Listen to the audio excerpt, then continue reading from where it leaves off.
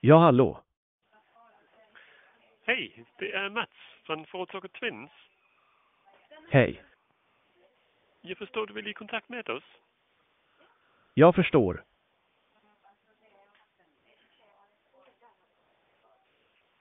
Men det bra. Det stämmer. Något som jag kan hjälpa dig med? Jag känner igen det här. Var det du som ringde förra veckan och pratade om samma sak? Eh, Det kan hända. Just det. Vad var det du ringde ifrån sa du?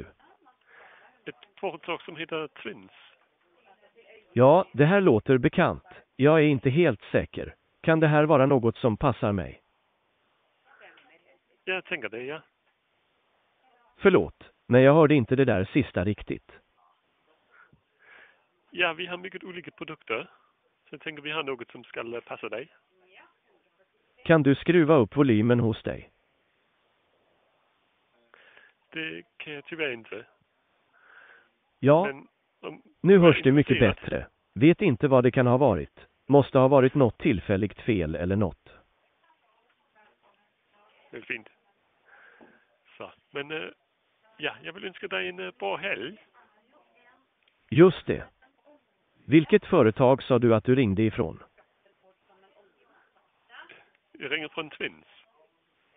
Men saken är den att jag råkat tacka ja till erbjudanden över telefon för, som jag inte borde ha gjort. Så man blir ju lite paranoid ibland när folk ringer. Finns det någon ångerrätt ifall man ändrar sig?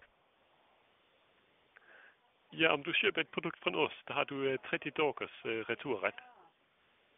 Ja, det låter rimligt. När man säger det på det sättet så verkar det helt okej. Ja, det låter fint. Så är det något specifikt produkt du är intresserad av? Okej, jag är inte helt övertygad ännu. Kan du ge mig lite mer detaljer? Nej, men du kan kolla vår hemsida. Eh, Och så kan du se. Okej, olika det här kan nog vara något att satsa på. Måste bara kolla en grej. Häng kvar en stund.